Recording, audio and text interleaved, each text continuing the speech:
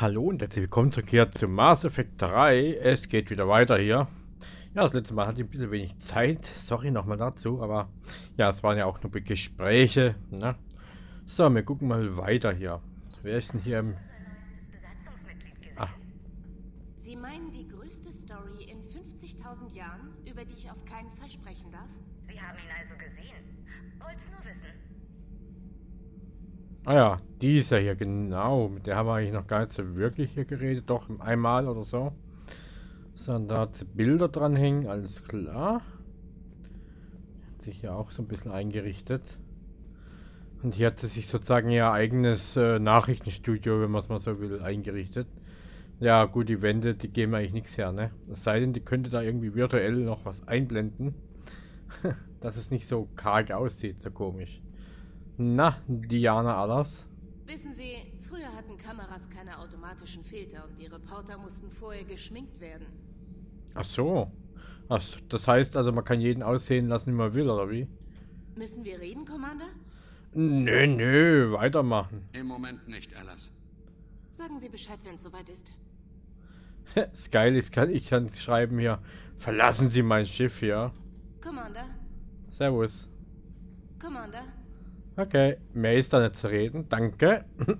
Das war schnell erledigt. Nicht, dass ich hier jetzt äh, sage, äh, ich möchte nicht, das möchte ich nicht wissen oder so, ne? Ist überhaupt nicht mein ähm, Ansehen oder mein Ansinnen. Natürlich, ich gehe extra zu den Leuten, um das zu wissen. Da müsste jetzt der andere drin sein. Eine gute Erweiterung unseres Reichs abgegeben, Turianer. Fähige Leute. Ja, sicher. Und mit Erweiterung meinen Sie sicher Sklavenrasse. Dienerrasse. Ja, wenn man das so nennt, ändert sich natürlich alles. Aber sie sind nicht weit genug gegangen. Sie hätten die Bombe auf der Kroganer-Welt entweder zünden oder als Druckmittel einsetzen sollen. Ich glaube, wir wollten einfach nur den Frieden sichern. Eine statische Form der Existenz.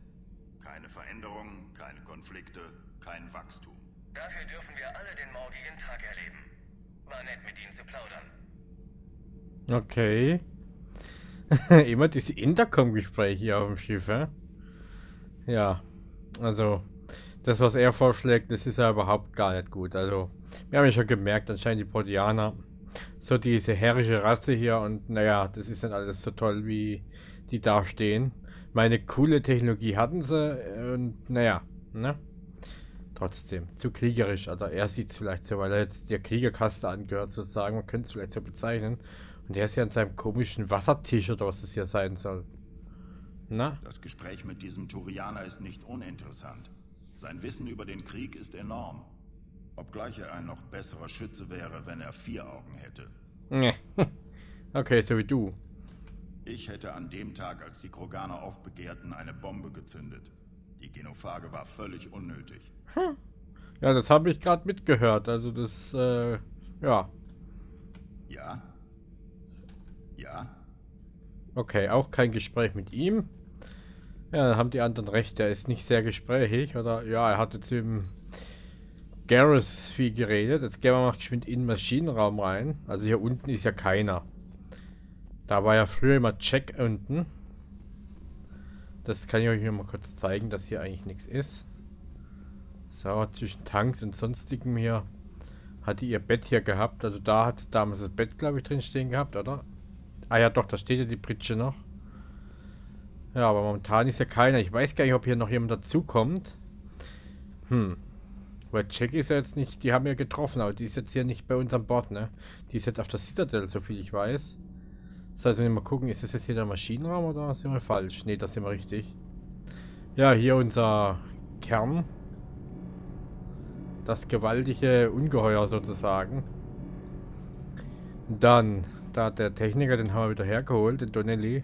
Na du? Ich wünschte, Gabby wäre hier und könnte das alles sehen. Okay, ich weiß aber nicht, wo Gabby ist. Sie ist, glaube ich, gestorben. Energieraster im grünen Bereich. Energieraster im grünen Bereich. Okay, ja gut, er hat sich damals, da bin ich zufällig in den Maschinenraum gekommen, hat er sich bedankt eben, dass wir ihn hier wieder hergeholt haben, aufs Schiff. So, die Schuttelbucht. Schuttelbucht, ich weiß.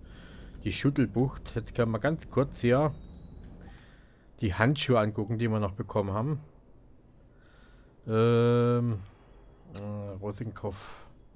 Was geben denn die Kraftaufladung? Naja, okay. Oder Nahkampfladen. Ja, das waren die einen hier.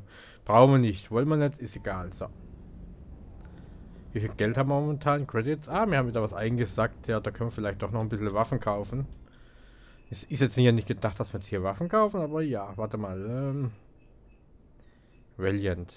Ja, kommt die Valiant. Sie 7000. Ah, nee, abbrechen. Warte mal, wo sind das andere? Claymore? Nee, das ist auch Schrotflinte, soviel ich weiß. Der Razer hier. Das eigentliche Scharfschützengewehr, was eigentlich schon fast wie eine Maschinenpistole ist. So vom, vom Poing Peng Peng hier. In sicher ist auch ein... Ja, das ist auch ein äh, Scharfschützengewehr, aber das war bisher auch zu schwer, ne? Da müssen wir gucken, dass wir da halt mal kaufen einfach. Partikelgewehr interessiert mich nicht. In sicher, ja komm, da können wir auch gleich die nächste Version von kaufen. Aber es ist brutal, dass der Valiant so teuer ist, die N7-Waffe hier. Hat das was damit zu tun, weil es eine N7 ist? Hm. Weiß ich nicht. So, Mantis hätten wir auch noch. Komm, wir kaufen da mal die nächste Version. Ja, wenn wir ein bisschen Geld haben, dann kaufe ich wieder was. Also, ein bisschen in Anführungszeichen. Ich bleibe da so ein bisschen auf dem Level, ne? So, Vindicator könnte man eigentlich noch auch nochmal. Die haben ja im Moment. Hurricane. Komm, wir machen hier nochmal ein Upgrade zwischen den ganzen Pistolen. Die sind ja eigentlich günstig. Sortieren die jetzt die gerade eigentlich nach Preis? Nee, nee, das Partikelquer fällt aus dem Rahmen hier unten ist sowieso. Da sind wir wieder Vierer drin. Jetzt haben wir hier die Razer. Komm, einmal machen wir mal, um zu sehen, was da passiert. So, jetzt fallen wir wieder unter die 200.000. Predator. Vindicator, Hurricane, Madlock. Madlock hat auf 2. Pali, äh, nee, Peston, Peston halt, Paliston, ich, was lese ich denn da? Scorpion, das ist diese komische, die sieht so, so modelliert aus, so lustig. Eagle, die Eagle haben wir, glaube ich, im Moment. Skimtar, das will ich nicht, will ich auch nicht. Katana, ja, Katana ist, glaube ich, auch ein, ähm, Dings da. Ihr wisst, was ich meine. Sagen wir, das sind noch nicht mal alle, ich glaube, es sind noch nicht mal alle hier Modelle drin von, von den Scharfschützen, was wir haben, oder? Doch, Viper, hier. Viper. So. Gab mal so eine Fernsehserie mit so einem Auto, das war auch mit der Viper. So. Mm, ja, es reicht mal wieder. Ah, Hundi. So, wer ist denn hier? Die wollen nicht reden, alles klar. Der hier schweißt. Ah, Lieutenant Cortez. Ist mit dem Shuttle alles okay? Ich überprüfe nur die Gleichgewichtsdämpferspulen. Wir sind im UT-47 anfällig. Aber keine Sorge. Der Vogel ist total stabil. Äh, ja, wenn er da dran rumschweißt oder was auch immer, dann finde ich das nicht in Ordnung. Ruhen Sie jemals aus? Sie sind immer nur hier unten und arbeiten. Nehmen Sie sich denn auch mal frei? Ich schlafe genug. Müde zu fliegen ist schlimmer als betrunken zu fliegen. Ah ja. Und wenn Sie wach sind, keine Entspannung? Ich muss mich beschäftigen, denn sonst denke ich zu viel nach. Okay. Ja, weiter so natürlich, ne? Arbeiten Sie nicht zu hart. Ich schätze Ihren Einsatz, aber ich will kein Burnout-Syndrom sehen. Ich kenne meine Grenzen. Mhm. Würde nie ihr Leben riskieren. Ja, naja gut. Haben Sie sich denn auch vor dem Krieg nie entspannt? Doch. Ich weiß noch, als die Hawking hinter Arcturus stationiert und ich ein blutiger Anfänger war. Es gab da dieses Beobachtungsdeck über den Startbahn. Man konnte allen Schiffen beim An- und Abdocken zusehen. Wenn ich allein war, habe ich die Lautsprecher abgeschaltet. Dann flogen sie lautlos vorbei. So etwas gibt es auch auf der Citadel. Wenn wir das nächste Mal dort sind, sollten Sie sich frei nehmen und sich das ansehen. Ich weiß nicht. Vielleicht. Ah, wir haben wieder eine blaue Entscheidung. Tun Sie es für mich. Nehmen Sie auf der Citadel Landurlaub, Steve. Mir zuliebe. Ich kann Ihnen einfach nichts abschlagen, Shepard. So soll es sein. Gut, das war jetzt diplomatisch. Wir hätten jetzt dem natürlich einen Befehl geben können. Ruf und Vorbild. Also wie gesagt, das eine ist immer gemischt irgendwie, ne? Da kriegt man äh, Gutpunkte und, und Schlechtpunkte zugleich wahrscheinlich. So ist es immer gedacht. So, gibt's noch? Ah ja, äh,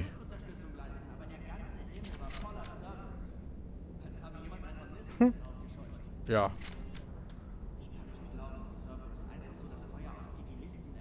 Tun sie aber, die Blödmänner. Nee, er hat sein eigenes Ziel. Ja, ja. Der hat sein eigenes Ziel. Okay, jetzt hat er sich ausgeredet. Ach, hier kommt man gar nicht. Was soll das hier? Doch, hier kann man jetzt... Nee, kann man nicht. Da kann man sich nicht durchfetzen, habe ich jetzt gedacht. So, der Dings ist doch hier auch noch irgendwo, oder? Ja. Sonst ist hier ja jemand, niemand mehr. Da sind noch die Männer da hinten. So. Da ist eine Handelbank. Bei Raketen, er kann auch mal Raketen nehmen, ne, gell? Aber nicht fallen lassen. So, James. Dieser Primarch hat wirklich Cojones. Was? Wir bräuchten mehr Politiker wie ihn, die genauso gut einstecken wie austeilen können. Ah ja, okay. Rex ist ein knallharter Brocken. Ich wette, er kann ein paar interessante Geschichten erzählen. Mm, ja, ich denke auch. Dieser Morden ist schon was Besonderes. Hm? Sein Mund bewegt sich schneller als ein Frosch auf einer heißen Herdplatte. Stimmt schon. Tuchanka hat mich an die Wüste in meiner Heimat erinnert. Die Eidechsen und Würmer sind zwar größer, aber sonst. Der Sand und so. Das mit Tarquin ist schade. Ich hatte begonnen, ihn zu mögen. Hey! Hey! Okay. Das war auch nur so ein Monolog. Der hat immer wieder ein paar Gedanken erzählt. So, jetzt gucke ich mir aber ganz kurz nochmal die Waffen an. So, 7%. Ja, ist schon besser geworden hier. Und jetzt gucken wir nochmal hier die Valiant. Warte mal, jetzt haben wir doch hier die Viper 3. Ja, die kommt jetzt hier mit dem Schaden nicht nach, ne? Nicht ganz. Und ja, aber wir können ja hier die sowieso nicht. Also, die hat super Schaden, aber äh, alles andere ist halt lahmarschig, ne? Die Incision 3, ja, haben wir jetzt eigentlich auch schon. Glaube, da können die Mods rein noch. Und zwar das hier. Und das hier. So. Dann ist er vom Schaden her besser. Vom Gewicht her ist natürlich primo. Aber die Präzision ist halt auch ein bisschen niedriger. Feuergeschwindigkeit gut.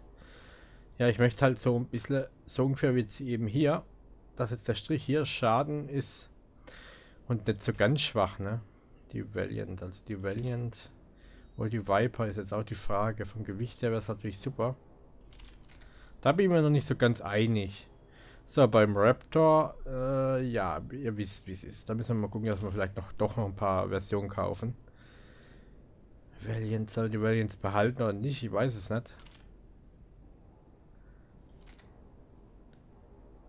Ja, also ihr werdet nicht sehen, dass ich mir hier ein Schrotflintengewehr reinnehme. Das mache ich nämlich nicht. Ich mag das einfach nicht. Das habe ich aber schon mehrfach jetzt erwähnt. So, die Vindicator haben wir jetzt auf 3. Ich habe gedacht, mir die 4. Ach nee, die 4 können wir jetzt kaufen. Gut. Zurück. Passt, bevor es hier wieder eine Waffenfolge wird. Weiter, weiter, weiter. Äh, wo können wir noch hin? Kapitänskajüte ist niemand. Wir können uns mal unsere Fische angucken, ganz kurz. Die werden jetzt automatisch gefischt. Haben sich wohl viele Spieler damals aufgeregt, dass die Fische verrecken, wenn man nicht hier was macht. Weil wir können hier füttern, aber das müssen wir jetzt nicht mehr. Das wird ja automatisch gemacht. Jetzt ist es richtig schön belebt. So. Gut, das ist unser Hamster. Servus, kleiner Hamster. Aussieht wie eine Maus. Miep. Ja. So. Unsere eigene Musikanlage, die immer läuft. Jetzt gehen wir noch in CIC zurück. Eigentlich müssten wir jetzt noch mit Joker, aber der Joker redet eigentlich nicht viel, ne? Komm. Wenn wir schon dabei sind, wir joggen mal vor. Das Schiff ist eigentlich schon ganz schön lange, wenn man es mal so betrachtet, ne? Die Kroganer und die Turianer sollten sich wirklich hinter die Allianz stellen. Sie haben so viel gemeinsam. Sie schießen gerne auf Sachen, sie wollen nicht sterben und... Nein, das war's schon. Edi sagt nichts dazu, okay. Man muss die Turianer einfach lieb haben. Erst besiegen und sterilisieren sie dich und dann platzieren sie eine alte hm? Riesenbombe auf deinem Planeten. Tja, das war halt alles früher. Tages übermütig werden solltest. Tja. Gut, dass wir sie entschärft haben. Stimmt. Die Kroganer sind ziemlich hart. Mir ist es lieber, wenn sie den Reapern in den Arsch treten statt uns. Hm. Commander? Choga. Commander? Choga. Idee. Ja, Shepard? Hätte sitzen bleiben können. Äh, ja, da brauchen wir nicht weiter. Ja. Weitermachen, Edi. Jawohl, Sir. Sie Wenn sagt. Sie reden möchten, reden Sie mit diesem Körper hier. Ja. In Ordnung. Die möchte nicht viel sagen, deswegen, ja, gut, okay. Dann haben wir es eigentlich. Jetzt haben wir noch ein paar Minuten übrig. Also, naja, ich sag mal so 10 Minuten. Vielleicht auch eine Viertelstunde. Wenn wir auf 30 Minuten die Folge machen. Jo. Äh, Nachrichten haben wir keine, ne? Die haben wir schon gecheckt. Ja, nix. Benden.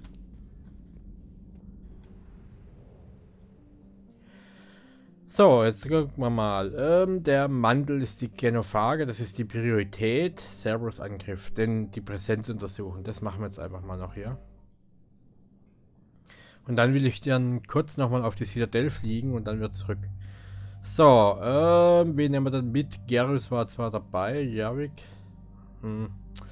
Edi. Na komm, wir nehmen mal Liara und James mit. Annehmen.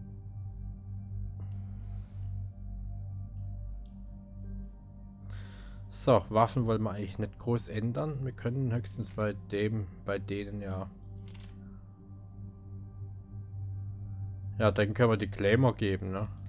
Ähm, Mods. Schreddermod. Klingenaufsatz. Großkaliber Lauf. Oder Smart Drossel. Ach so, dass die ein bisschen präziser wird, aber das sieht man ja gar nicht wirklich. Er kriegt den Schredder-Mod.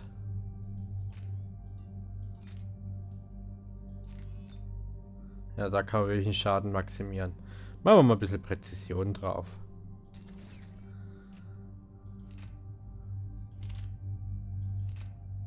Ja, die ganzen Schrotflinten. Also das ist die bessere hier. Wie gesagt, bei denen macht das Gewicht ja nichts aus. Er hat die Vindicator, okay. Ja, bei denen macht eigentlich das ja auch keinen Sinn, ne? Äh, machen wir mal hier. So, den hier drauf. Bestätigen. Gut, Präzision, ja, gut, das äh, kriegt er dann auch, aber egal. Halt. Sie hat nur Pistolen, die hat die Igel. Und wie gesagt, das macht bei denen keinen Sinn. Bei der KI. Die haben ja unendlich Munition eigentlich, ne?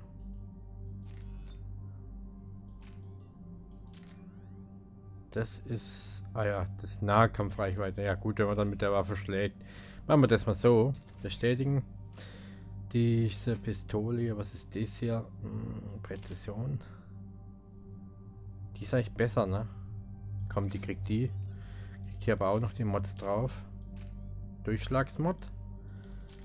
Wird's doch wieder eine Waffenfolge. Mensch. So, Hurricane. Macht bei dir auch keinen Sinn. Macht nur bei Menschenspielern eigentlich Sinn. Das gibt auch Kapazität, ja, weil manchmal das Magazin nicht verbraucht wird. So, das hat sie schon, das Leicht, aber das Leicht bringt bei der auch nichts. Aber was will man da groß machen sonst, ne? Bestätigen. Da kann man fast unendlich Munition machen, wenn man beide Munitionsmods reinmacht. Hurricane. Okay, da gibt's nicht viele. Die ist schon die beste. Auch wenn wir bei der anderen den Mod noch reinmachen. So. Hier haben wir mal wieder vier Pünktlein. Was gibt es mit vier? Warp zum Beispiel, Stase, Singularität. Wir gehen mal bei Warp noch rein. Da müssen wir jetzt entscheiden zwischen Schaden oder die Detonation. Na gut, die Detonation brauche ich nicht unbedingt nochmal Schaden. So. Weiter geht's. Dann bei James, zum Beispiel bei uns, das Menschen, das sieht man nicht gleich, wenn der Helm auf ist, ne? So, Verstärkung oder Spielergranate. Da kommt, dann kriegt er mal Spielergranate wieder drauf. Bei uns. Ah, der kleine Scheiß wächst da da unten, ne? Null Pünktle, fertig. Gut, wir haben einen ganz anderen Helm, das muss man auch anführen. Cerberus-Truppen landen abseits der Tuchanka-Schlachtfelder. Ihr Ziel scheint eine alte Boden-Weltraumkanonenanlage zu sein, die seit den kroganischen Rebellionen nicht mehr benutzt wurde. Sie hat keinen militärischen Nutzen. Und die Kroganer sind zu weit verteilt, um sich darum zu kümmern. Wissen wir, was Cerberus vorhat? Nein, aber wir wissen, dass Cerberus niemals ohne Plan handelt. Halten Sie sie auf und stellen Sie dabei gleich fest, was Sie vorhaben. Wird erledigt. Hoffentlich. Eckert Ende. was heißt ja hoffentlich? Wenn wir was machen, dann machen wir das.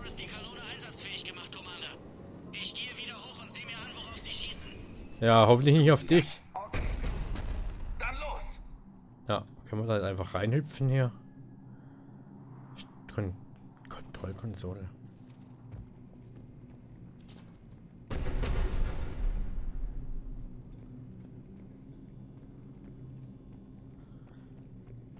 Psst. Bleibt mal hier. Ich kümmere mich mal um die.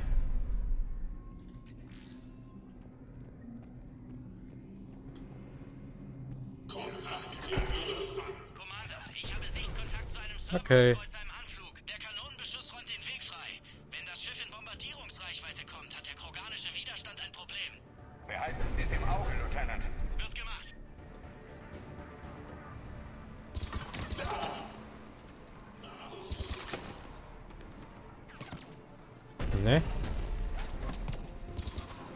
Komm her.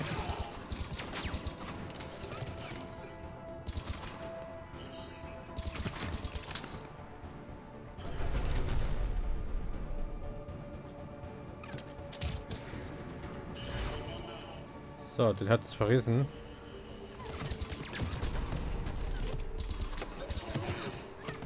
Ah, hey, ich glaube,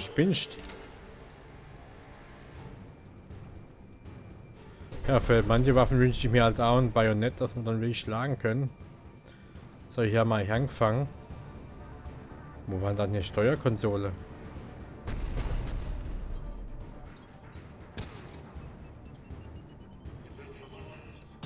Pam, Schuss ins Bein. Jetzt klappt er zusammen. Pam. Und Pam. Ja, ich weiß, ich mache jetzt gerade alles allein. Ich brauche die nicht unbedingt dabei. Wo war denn jetzt die Konsole? Oder habe ich das jetzt hier verbockt, weil ich einfach so angefangen habe? Oder? Nee. Ach doch, nee. Kontrollkonsole. Passt schon. Und weg ist er. Ham. Und... Ups, das ist Techniker, oder? Ja, ja, halt ja die Schulter. Das finde ich halt immer geil, dass sie sich dann auch die bestimmte Körperteile halten, aber... Ah, ah Moment mal. Du blödes Geschütz. Moment, kann ich dir vielleicht eine Granate hinwerfen? Ja, noch ein bisschen weiter drüber. So. Über den Strich. Ja, das bringt nichts. So. Ein gezielter Schuss und das Ding ist Geschichte. Verstärkung anfordern? Wie bitte? Wer hat das gesagt? Hey Leute, Moment mal, hier bleiben. Bleibt da. Ich möchte es allein regeln. Hä, wer schießt denn hier? Ach du. Moment, ist da hinten noch was? Munition, oder? Müll. Ach, da kann man hochklettern. Hier noch irgendwo was? Warte, wir können ja hier auf dem Radar, das ist immer ein bisschen blöd angebracht hier. Früher war es besser, da war das Radar offen. Wo müssen wir denn hin? Ah ja, hier rein. Gucke erstmal hier runter.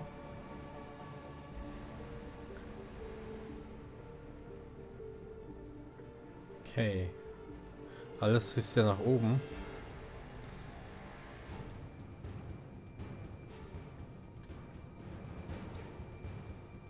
Ach, das ist Mund.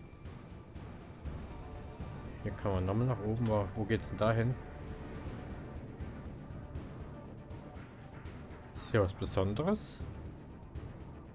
Nö. Hätte ja sein können, ne? Munition, Munition, Munition. Ach, grüß Gott, du bist ja schon wieder dabei. Ich habe euch doch einen Befehl gegeben. Die widersetzen sich meinen Befehlen. Das geht mal gar nicht. Da geht's nicht runter. Okay, da ist... Hätte fast gedacht, da geht's noch weiter, aber das ist auch wieder so eine Multiplayer-Karte hier. Das muss ich jetzt dazu sagen. So, äh, Leute. Ich würde mal sagen... Ich gucke mich da noch weiter um. Wird gemacht. Oh, ihr stationiert, stationiert euch mal hier. Ich gehe mal rein hier. Ich gucke mich mal so um ein bisschen hier.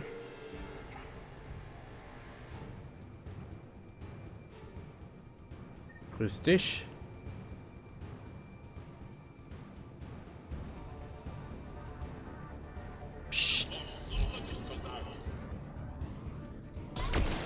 So.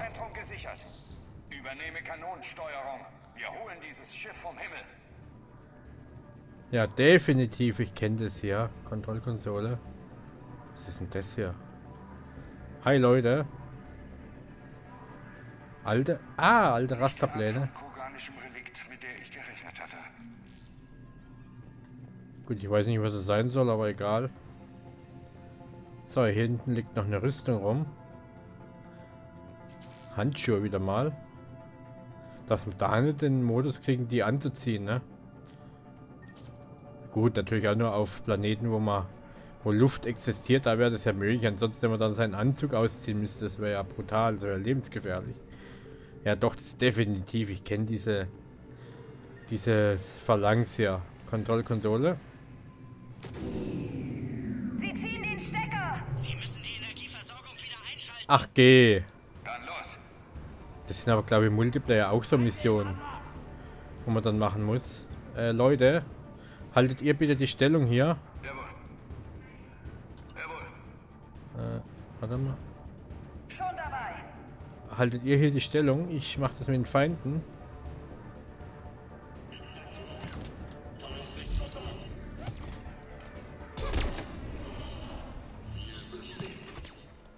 So, zack.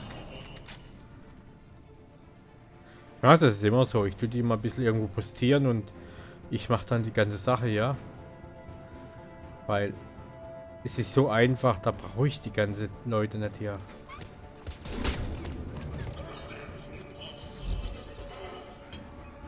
Okay, ja gut, die kämpfen mit. Äh, Granate. Das Blöde ist, dass man die nicht zurückwerfen kann. Warte mal. So.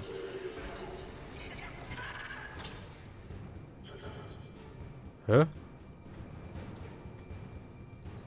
Okay, was war denn das für eine Tussi hier? So, einmal in den Arm geschossen hier. Leute, bleibt hier bitte. Und dich da. Nicht, dass ich euch nicht dabei haben will, aber ich...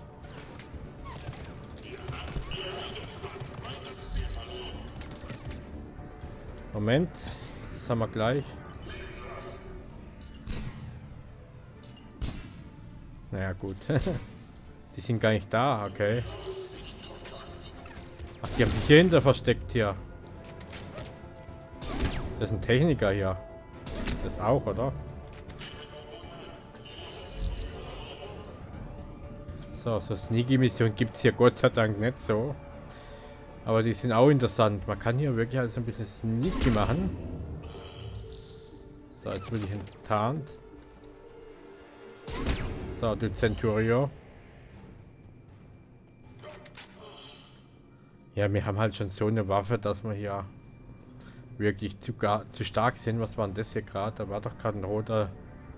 Irgendwas war doch gerade rot hier.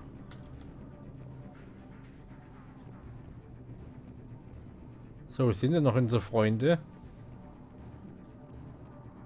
Sind noch irgendwelche Freunde? Ah, grüß Gott. Energiemodul. Ach so, ja. Das habe ich jetzt natürlich elegant umgangen, ja. Das sind die Energiemodule.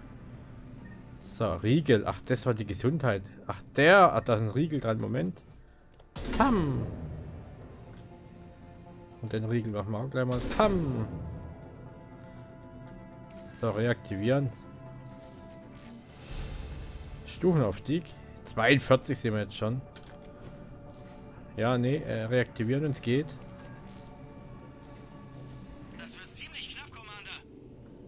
Äh, ja, ja. Energie auf die Hauptkonsole umgeleitet. Bin jetzt auf dem Rückweg.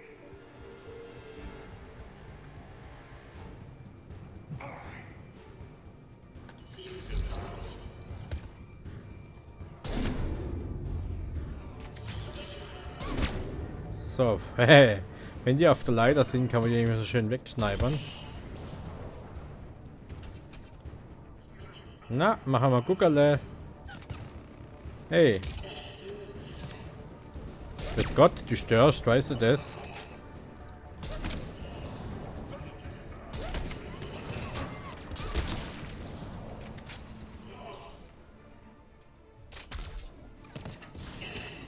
Rums. Na. Nee, du wirst keine Granate. Du machst auch nichts. So, mach das Guckerle hier.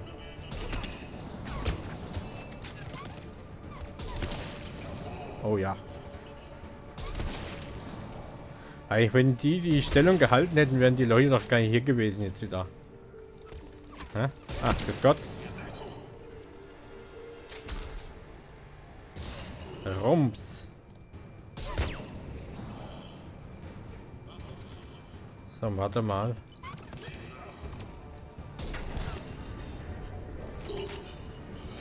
Ah, sehr schön. Ja, der Sanitäter hilft jetzt auch nicht mehr.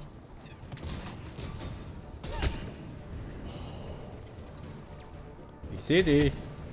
So. Ach, der mit seinem blöden Schild hier. So. Ach du, du störst, weißt du das? Hat sie ihm gerade das Fleisch, äh, das Fleisch zerrissen, genau, das Bein. Zack. Na, Mist. So, jetzt. Ja. Solange es keine Frau ist. Was? Echt schon wieder?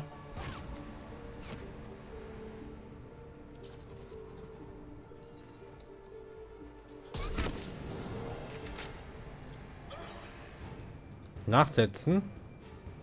Ach, das tut mir aber leid, dass du nachsitzen musst. Der Arme. So. Oh, obala. Äh, Moment. äh, das Ding hat Gott sei Dank geschossen. Ja, da ist der blöde Techniker. So. Der ist auch wieder hirnlos. Im wahrsten Sinne des Wortes, ne? So. Jetzt können wir hier aber endlich hochfahren hier. Konfiguration. Jetzt sehen wir nochmal die Energie. Okay, Feuer, würde ich sagen. Steuerung wiederhergestellt. Zielerfassung aktiviert. Koordinaten, Lieutenant. Hochgeladen. Feuer! Direkter Steuerbordtreffer, Commander. Ziel bricht auseinander. Ich wiederhole, direkter Treffer. So stelle ich mir das vor. Okay, gute Arbeit von allen. Das hätten wir gemacht, ja. Shepard, mit den kroganischen Kanonen hat Cerberus uns den strategischen Vorteil in diesem System gegeben. Der Feind zieht sich zurück, aber er wird versuchen, die Anlage zurückzuerobern. Wahrscheinlich. Ich schicke ein Allianzteam zur Sicherung. Wir haben dank Ihnen in einer starken Verteidigungsposition Fuß gefasst. Das hört man gern. Gute Arbeit, Commander. Hackett Ende. Sehr gut. Ja. Und ein bisschen Ruf und äh, Credits. Granatenkredits. Servus Primarch, mit dir will ich nicht sprechen. So, ich gehe einfach wieder auf CIC. So, wieder hier durch den komischen Hörtrakt da durch, wo sie einfach nur durchleuchten, ja.